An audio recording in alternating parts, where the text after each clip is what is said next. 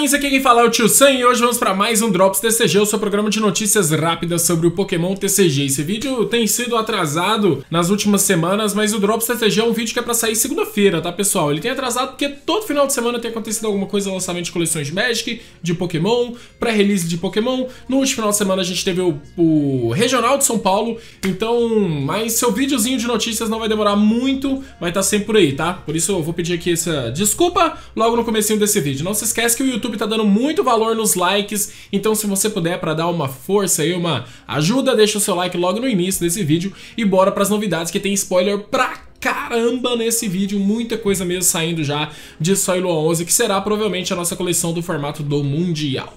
Começamos com Heracross, ele é lutador com 100 de vida, uma energia incolor ele dá o Ring Reversal. Se o seu oponente é, usou um ataque GX durante o último turno, você embaralha o Pokémon ativo dele com todas as cartas ligadas a ele no deck. É interessante uma resposta rápida com uma energia incolor apenas. Vamos supor que a Mirror de Charizard GX, o cara vai lá, faz o Charizard GX, montou, colocou 6 energias, é só assim que ele mata o Charizard GX em um hit.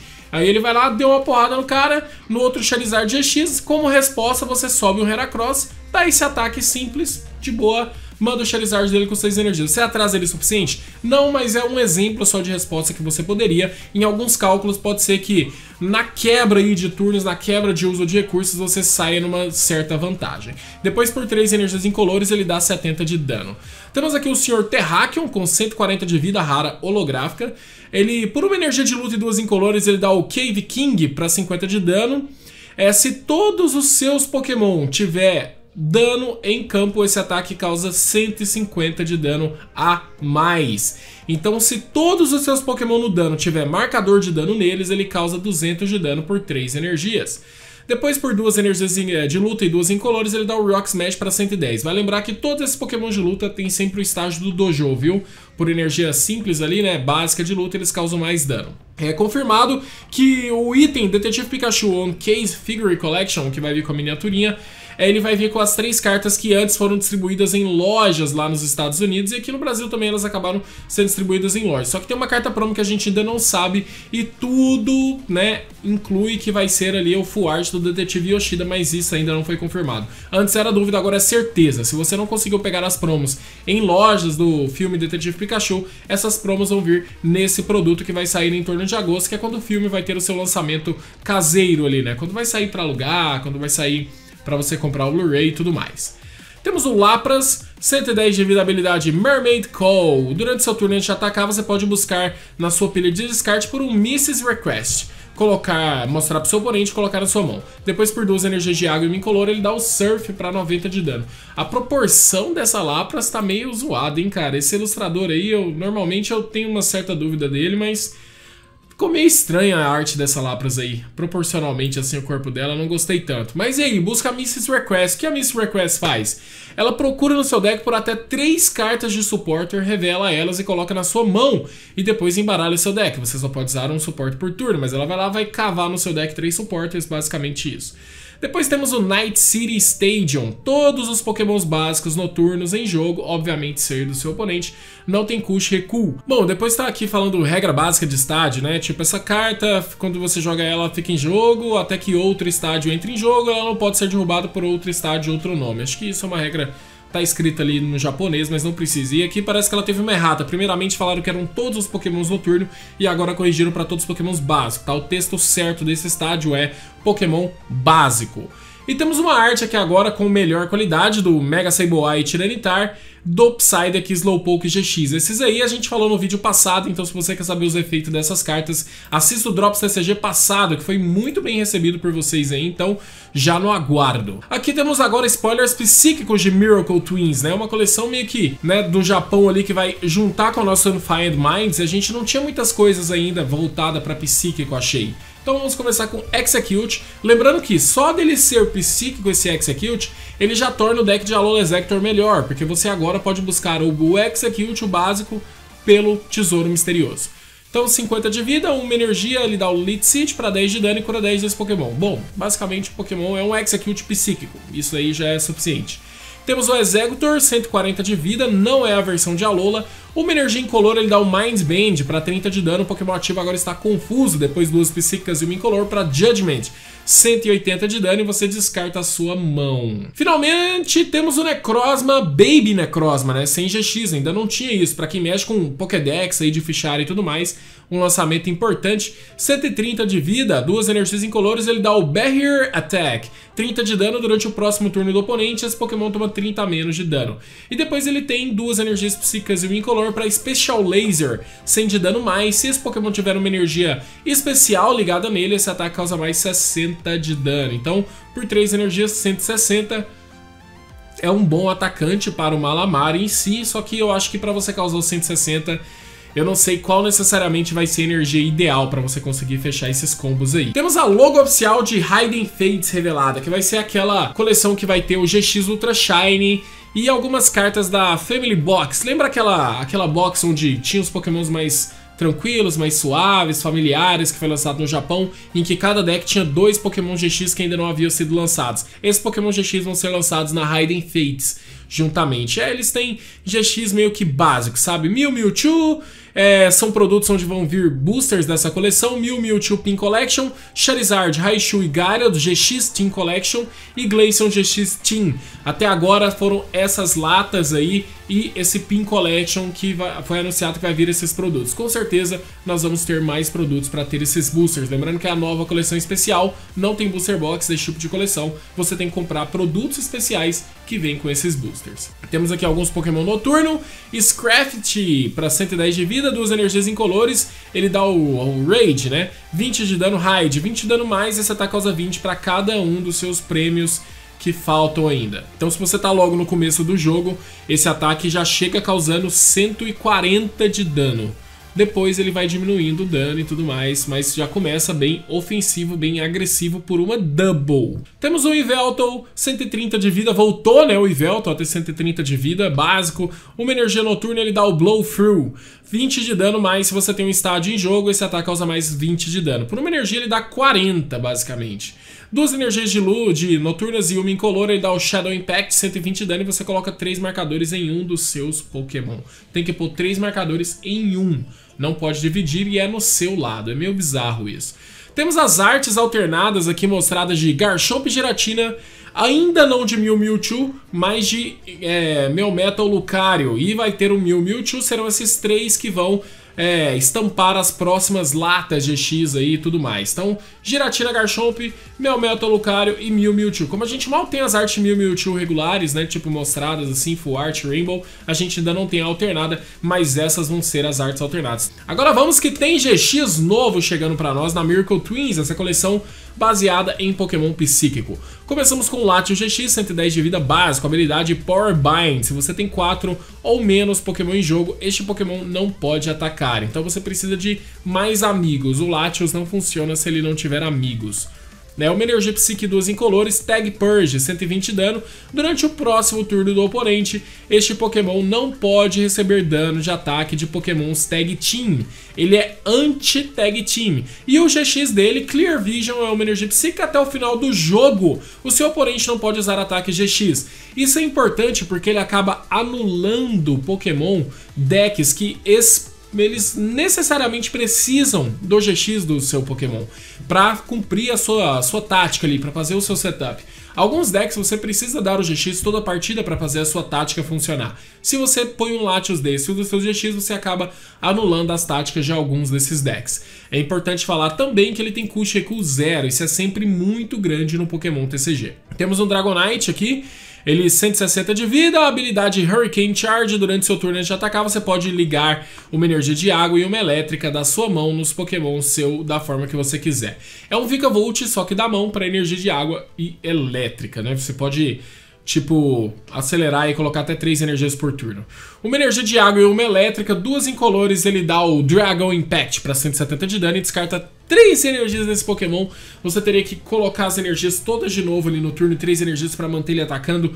Não acho tão legal, 170 de dano apesar de ser um bom dano, não me parece algo que você vai conseguir usar com uma certa frequência. Temos o Blue Strategy, a gente já tinha ali né, a, a Green, a gente já teve o Red, agora finalmente ganhamos o Blue. É, quando o seu turno acabar, você compra cartas até ter 8 cartas na sua mão. Então, basicamente, você vai fazer o seu rolê todo, usa todas as coisas e pá. E no final do turno você volta com 8 cartas na mão. Sem poder fazer nenhuma jogada, obviamente, acabou o turno, mas você tem ele aí como recurso. É, para quem comprar a box de de Twilight Miracle Twins aí, né, vai ganhar esse terráqueo que a gente falou aqui nesse vídeo de arte alternada. Então é o mesmo terráqueo que a gente falou aqui, tá aqui imagens da box. Temos esse sleeve aí do Lance com Dragonite. E temos também a Cherish Ball, tá? Que provavelmente vai vir ali no deck. Lá no Japão vem no deck do Esper e Deoxys, mas aqui pra nós deve vir na sua Lua 11 normalmente. Basicamente, o item, o efeito dela é você procura por um Pokémon GX e coloca na mão e embaralha seu deck. Basicamente, para decks que tem muito GX, muito Tag Team, é uma excelente Pokébola, uma excelente forma de busca pensando já em pós-lotação no formato onde não existirá Ultra Ball, pode ser uma carta muito legal. Agora aqui saiu arte de, né, uma arte mais com qualidade alta do Jirachi GX e do Iavaio GX. Quero pedir perdão, parece que eu esqueci de falar sobre a habilidade do Iavaio GX no, no vídeo passado, né, mas os outros efeitos eu já falei. A habilidade é a Shadow Connection, quantas vezes você quiser durante seu turno antes de atacar, você pode mover energias noturnas de um dos seus pokémons para outro pokémon em jogo, da forma que você quiser. Então, Fique à vontade aí. Aqui temos imagem de alguns produtos japoneses. O playmat ali Deox e Espion, playmat Darkrai Umbreon. E também o novo sleeve aqui com Aerodactyl, com os fósseis embaixo. E essa deckbox maravilhosa aqui, meio de couro com o Mewtwo. Então isso daí é bastante interessante. Coisinhas japonesas, né? Como sempre. Temos aqui Tapu Coco, 120 vida, uma energia elétrica ele dá 30 de dano, duas energias elétricas ele, e o Incolor ele dá um Nature Dive, 100 de dano mais. Se o Pokémon ativo for uma outra bicha, esse ataque causa mais 100 de dano e descarta duas energias deste Pokémon. Uh, bom, basicamente 200 de dano contra Ultra Bicha, ele é um Ultra Bicha Killer, né, bem forte. Temos o Electros, 150 de vida, habilidade elétrico e Swamp. Se esse Pokémon estiver na sua mão e, tipo, você tiver 4 energias elétricas em jogo, você pode usar essa habilidade. Coloca esse Pokémon é, na sua mão, é, da sua mão no banco. Se você fizer isso, você pode mover todas as energias elétricas dos seus Pokémon para este Pokémon da forma que você quiser. Bom, basicamente, se o Pokémon, se o Electros está na sua mão e você tem quatro energias elétricas em jogo, aí você pode usar a habilidade. Ele entra em campo como se fosse um Pokémon base, você pode colocar ele direto e você move quantas energias você quiser para ele. O ataque dele por quatro energias, ele dá o Hover Over para 130 de dano e o Pokémon não pode recuar durante o próximo turno muito texto muito ruim, né, no fim das contas. A Trevenant GX Tag Team, quem chutou que seria com Dusknor, acertou. Essa vai ser o nosso Tag Team mesmo. A gente ainda não tem nem efeito sobre isso. A box dele foi anunciada que vai custar 20 dólares nos Estados Unidos, mas nem no Japão ainda temos noção desse Pokémon. O Trevenant é um Pokémon que trabalha com dano. O Dusknor é um Pokémon que também trabalha com dano, sabe? Put Damage Counters. Eu acho que vai haver algo é, relacionado a isso. Ou colocar Put Damage Counters, ou mover Damage Counters, ou fazer os dois ao mesmo tempo. Eu acho que essa carta vai ter uma mecânica envolvendo isso, que normalmente é o padrão desses Pokémon. Temos também o anúncio do Dragonite GX, ele tem 250 de vida por uma energia de água, uma elétrica e uma incolor, ele dá o Dragon Claw para 130 de dano. E por 5 energias, senhoras e senhores, 5 energias, ele dá o Sky Judgment para 270 de dano sem efeito. Cara, 270 é literalmente o novo 120 da primeira geração é o novo 180 do formato X, ele literalmente vai matar tudo, tá? Descarta três energias. Por uma energia incolor, ele dá o Match Delivery. Você compra cartas do seu deck até você ter 10 cartas da mão. Você pode descartar quantas cartas você quiser da mão depois de ter comprado essas cartas. Esse é o GX dele, bem interessante. Apanha pra fada, né? Fraqueza fada, 2 de Kun Sheku. Mas ele dá o porradão do momento, né? Com certeza fez, vai nocautear qualquer coisa. Celebi 80 de vida básico, uma energia de grama ele dá o Time Spiral, você devolve um Pokémon evoluído é, com todas as coisas que, né, do último estágio dele de evolução para o deck do oponente. E depois por uma energia de grama também ele dá o Psycho Trip, 20 de dano, e o Pokémon ativo do oponente está confuso, nada demais né, esse Celebi. Aqui temos o Fungus, 40 de vida, ele dá o Spore, Pokémon ativo está dormindo. Depois temos o Amungus, habilidade Spread Spore. É durante seu turno de atacar, quando você jogar um Pokémon com o ataque Spore da sua mão para o jogo, o Pokémon ativo do oponente está dormindo envenenado. Então você começa a colocar ali o Spore, ele simplesmente espalha isso. Por duas energias incolores, ele dá o Venom Shock para 20 de dano mais. Se o Pokémon estiver envenenado, esse ataque causa mais 20 de dano. Duas energias, então, seriam para 90 se a estratégia estiver dando certo.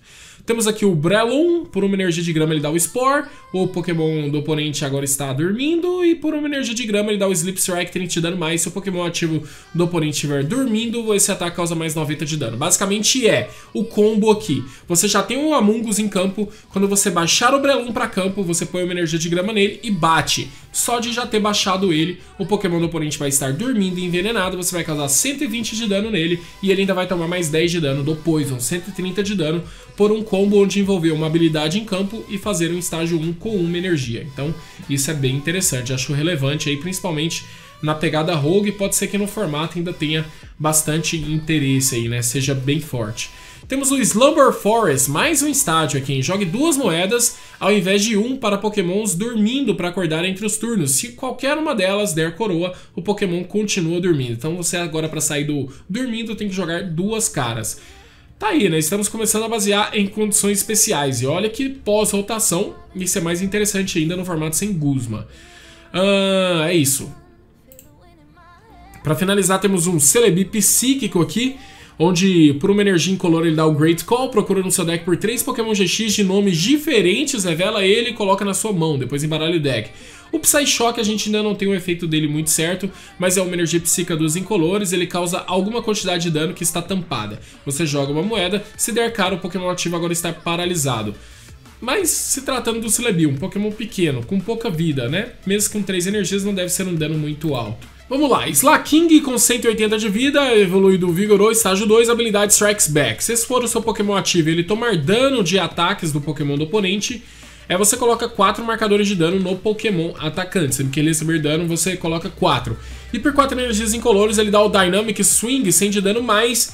Você pode causar 100 de dano a mais. Se você fizer isso durante o próximo ataque do oponente, esse Pokémon toma 100 de dano a menos. Bom, é bem confuso porque não faz sentido você não querer causar 100 de dano a mais com esse Slaking, né? Mas tudo bem, às vezes você simplesmente não quer nocautear o oponente, né? Quer colocar 100 de dano. Não sei, estou supondo. Mas muito provavelmente por 4 energias você vai sempre causar 200 de dano. Bem forte isso daí. E temos a Giant Bomb, olha aí, uma segunda talvez, né, um tool aí dessa coleção. Se essa carta estiver ligada em um Pokémon, você descarta ela no final do turno do oponente. O Pokémon que essa carta estiver ligada, se for um Pokémon ativo e tomar 180 de dano de um ataque do oponente, você coloca 10 marcadores de dano no Pokémon do oponente. Então já temos um motivo para talvez não bater o 100 de dano do Slaking, não é mesmo? Então, se você tomar aí né, 180 ou mais de dano, você pode colocar 10 marcadores de dano no Pokémon ativo do oponente. Isso é uma coisa muito, muito louca, bem interessante aí, talvez uma mecânica nova aí surgindo também, igual da época do Bursting Balloon, né, com o Trevenant mesmo ali, fechava alguns danos e tudo mais. Bom, pessoal, esse foi o nosso Drops TCG, muitos spoilers, alguns não tão relevantes, alguns talvez eu sinto que falta uma parte de um quebra-cabeça para para juntar ali, fazer igual o Among Us e o, e o, e o Brelum, né? Já entram ali jogando muito bem juntos. Mas eu estou ansioso. Soilua 11 parece uma coleção que não tem cartas muito overpower, mas tem cartas pequenas com estratégias pequenas que vão influenciar tudo de uma forma, tipo, extremamente diferente. Pessoal, espero que vocês tenham gostado. Se você ainda não deixou o seu like nesse vídeo, deixe o seu like. Considera ser um padrinho desse canal. É vocês que mantêm esse canal de portas abertas e continuem produzindo vídeos, tudo bem? Então lá você pode participar de várias campanhas aí de sorteios, concorrendo sempre uma Booster Box da coleção mais atual, treinamento com os melhores jogadores do Brasil e sempre um brinde especial, beleza? O patrocinador oficial do canal está na descrição, a Playground, lá você pode comprar acessórios, produtos lacrados e cartas avulsas. Colocou o cupom TILSAN, você ganha 5% de desconto da sua compra, beleza? Espero que todos vocês estejam passando por um ótimo dia, fiquem com Deus, aquele abraço e Brofish dos Brothers para encerrar. Tamo junto, valeu demais, hein? Uh!